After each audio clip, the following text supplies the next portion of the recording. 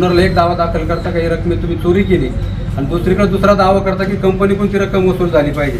अशा प्रकारे ज्यावेळेला मांडलं जातं त्यावेळेला माझा निर्देश तो सिद्ध होता असं माझं मत आहे.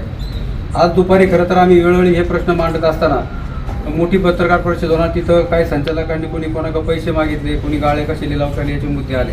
खरं तर महत्त्वाचा एकच मुद्दा होता की त्यांनी गाळे बांधले आणि मी ते विकले आणि त्याच्यात बऱ्यापैकी गैरव्यवहार केला असं म्हणणं आहे. माझ्याकडं खरं तर त्यावेळेला मी सभापती असताना सगळ्या संचालकांना विश्वासात घेऊन काम करायचं काम केलं. ते गाळे एवढे दिवस बांधून पडून होते चौदा साली ते गाळे बांधले आणि सोळा साली आम्ही तो लिलाव केला आहे खरं तर जुन्नरमधली बाजार समितीची अतिशय मोक्याची जागा आहे आणि तिथं आताही कांदा येतो इतर माल येतात तर त्या अडचणींना तो माल स्वतःच्या जागेत खाली करावा लागतो तिथं जागा नाही. यांनी एवढी मोठी ते गाळी बांधले खरं तर त्याच्यात त्यांचा स्वतःचा आर्थिक स्वार्थ होता. हे बोलताना माझ्याकडे चौदा सालचा एक ठराव आहे. त्या ठरावामध्ये त्याने असं म्हटलं की जे एक्क्याण्णव गाळे बांधले त्यातले चौदा गाळे बाजार समितीकडे ठेवायचे. म्हणजे ते नंतर बाजार समितीने ते कोणी बँका असतील कोणी इतर असतील आडती असतील ना वापीसाठी द्यायचे.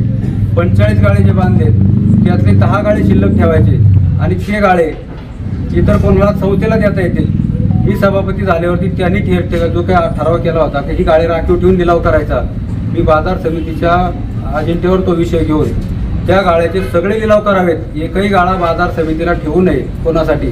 सगळे गाळे लिलाव करावे जो माणूस तो गाळा घेऊन त्याला द्यावे अशा प्रकारचा ठराव केला. त्या ठरावाला माझी सभापती स्वतः हजर होते. त्यांच्याबरोबर सगळे लोक हजर होते. त्यानंतर तो ठराव डी आरच्या मान्यतेने डी डी आर गेला. डी डी आरने पणन संचालक गेला. पणन संचालकाने आमच्याकडे ज्या अटी होत्या त्या अटी अजून पाच अटी वाढवल्या. आणि त्या पाच अटी टाकून हा लिलाव करावा असं म्हटलं. त्या लिलावाला परत एकदा खाली आल्यानंतर सगळे संचालक हजर होते. स्वतः माझी सभापती हजर होते आणि कधी या ठरावाला हे सगळं कारवाई करायला विरोध केला नाही.